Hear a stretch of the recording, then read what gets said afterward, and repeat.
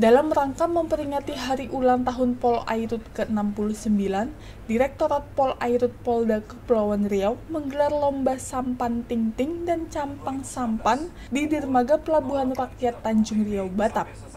Pada kegiatan yang bertema sinergitas TNI Polri dan masyarakat ini, peserta tidak hanya berasal dari Tanjung Riau, namun diikuti juga oleh peserta yang berasal dari pulau-pulau sekitar seperti Patam, Pulau Buluh, Belakang Padang, Pulau Granting, dan Pulau Kasu.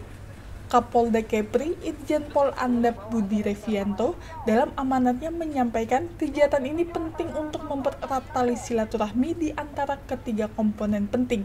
Sebab tanpa adanya bantuan dari masyarakat, TNI Polri dan pemerintah tidak akan mampu melaksanakan tugasnya dengan baik dan lancar.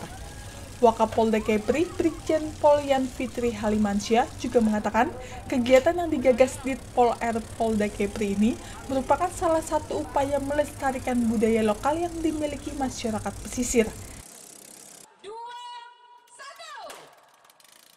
Semoga ke depannya bisa menjadi wisata bahari yang bisa dipertontonkan sepanjang tahun ataupun di setiap event uh, ulang tahun Pol Airut ke depannya. Semoga saja dengan ini uh, masyarakat lebih peduli juga, uh, aparat pemerintah lebih peduli juga, jajaran kepolisian, TNI bersama-sama masyarakat peduli dengan laut untuk menjaga lautnya agar tetap bersih, terjaga dari sampah-sampah dan kotoran-kotoran plastik. Kenapa?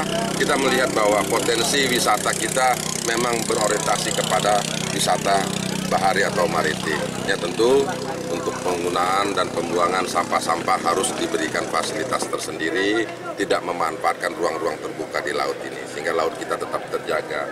Seperti Gurindam 12 yang selalu uh, menyampaikan bahwa kita tidak boleh durhaka sama laut, karena laut adalah nadi kehidupan kita.